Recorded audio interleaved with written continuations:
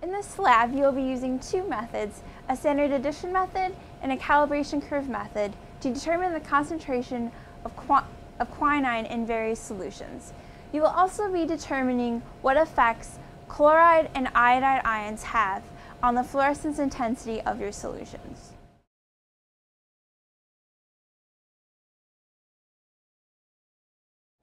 When you get to lab, the first thing that you should do is turn on the fluorimeter. So just press the switch in the back of the instrument to turn it on. And then you'll need to wait approximately 10 minutes before you take a sample so that the lights can heat up. And then go over to the computer and log in using the administrator password and username that have been provided to you.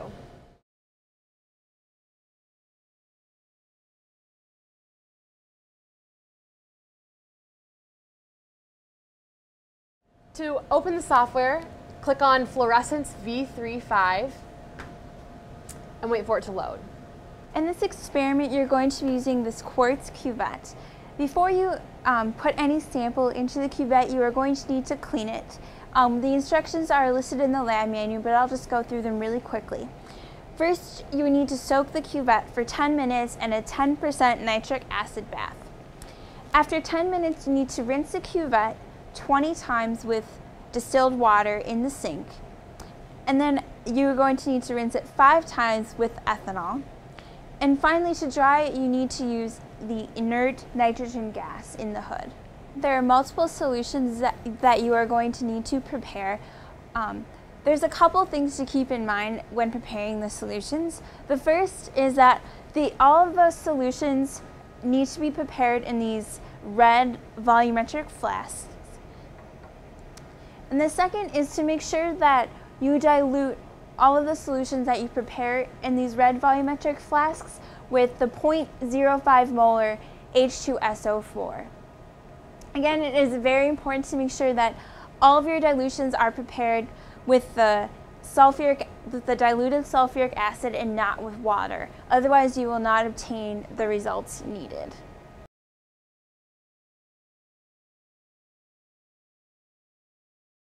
Now we're ready to collect the excitation maxima of our 5.5 ppm quinine sample.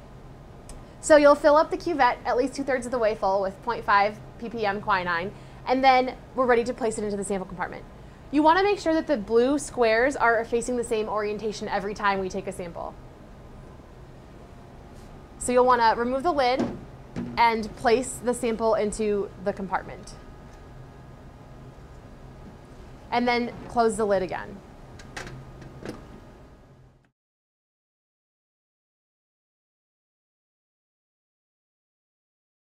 All right, to collect the excitation maxima, you'll want to select the M button on the toolbar and then click on Spectra and choose Excitation and then select Next.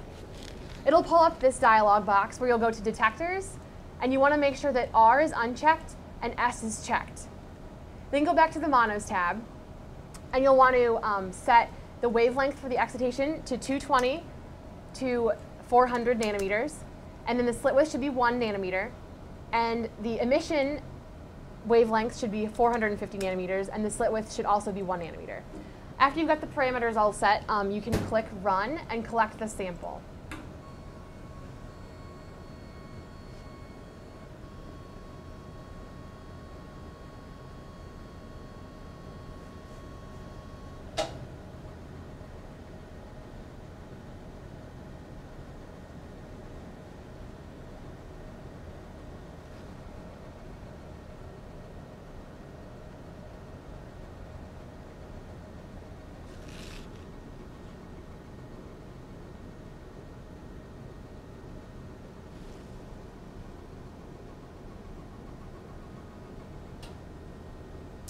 All right, so you don't have to enter a project name, so you can just select cancel.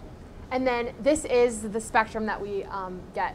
So you want to double click the, the graph to do the analysis and then maximize the window. And then you'll want to select the data reader button and then find the maximum on the graph. So you can click around and then use the toggle arrows to find out where the maximum is. So for the Y data, here it looks like the maximum is um, 19440. So we're going to write down the x coordinate there, which is 352 nanometers. It should be close to 350 nanometers for this. So after you've got this done, you're going to want to save the file. So go to File and then Save Project As, and then name it. And you'll have to save this in a public location because you logged into the administrator account and not your own Hawk ID. So you'll go to Local Disk C, Users, and then scroll down to Public. You'll select Public Documents, and then make a file folder with your name and save the um, excitation maxima in that folder.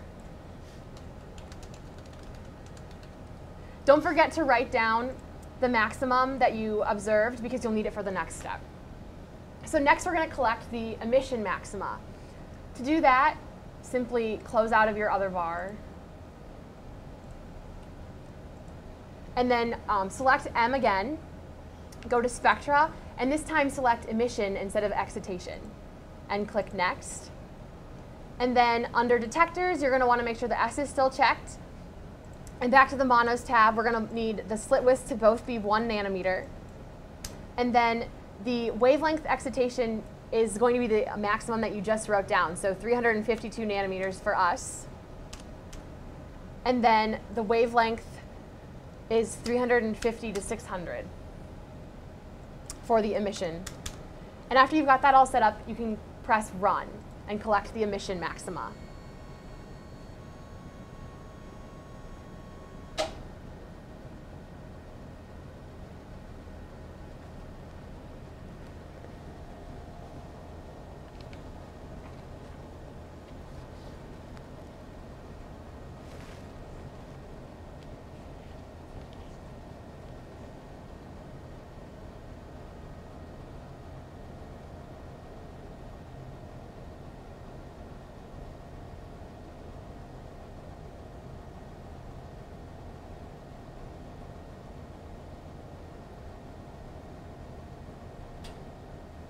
So after you got the reading, double click again to get to the analysis window, and then go back to the data reader tab and select the highest point and scroll over to make sure that that is indeed the highest point. And it looks like here our emission maxima is 450, which is what we would expect. So after you've got your data, you're going to want to save this file, so save project as emission maxima in the same place that you saved your excitation maxima in, which is in the computer, um, local disk, users, public, um, and then public documents and under your folder. So after you've saved that, you need to repeat this entire process using 5 nanometer slit widths instead of 1 nanometer slit widths.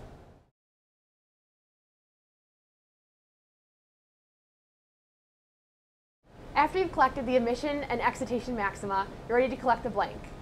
Go ahead and fill the cuvette with um, 0.05 molar sulfuric acid and place it into the sample compartment chamber. After that's all ready to go, you're ready to collect the sample. So go back to the M icon and then select single point this time. And under detector, make sure that both are checked. And then go back to monos. And then you're going to want to do 16 trials for the blank. So under the maximum trials um, box, you're going to put 16. And then the slit widths should both be changed to one nanometer. And then for the wavelength sets, you're going to want to use the um, optimized excitation and emission numbers that you just calculated. So for us, it was 352 nanometers for the excitation and 450 for the emission. After you've got all this set up, you can click Run to collect your sample.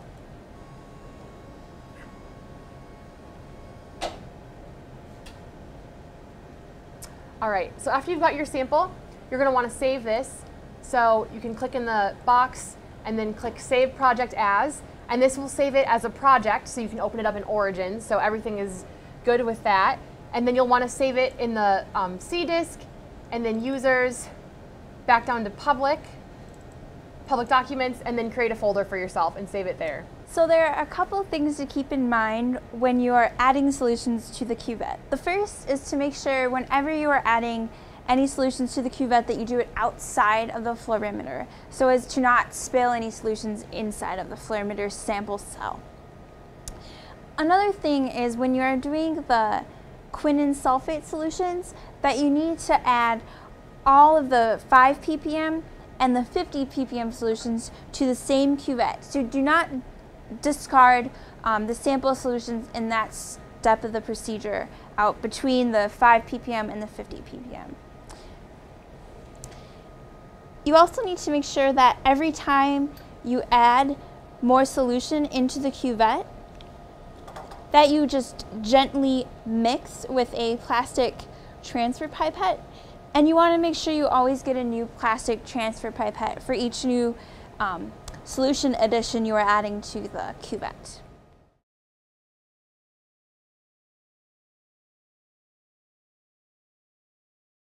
After you've placed your cuvette in the sample compartment, we're ready to collect a spectrum.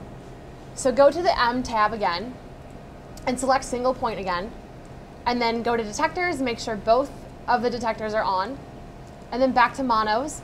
You're gonna wanna select five trials for the remainder of our samples today, and then the excitation to our previous optimized value, which was 352, and then emission for, was 450, and make sure the slit are both set to one, and at that point, you're ready to collect your sample. So you can select run. You'll do this for the remainder of the samples following the procedure listed in the lab manual, and then clean out the cuvette using the procedure described previously, and repeat with the salt solutions.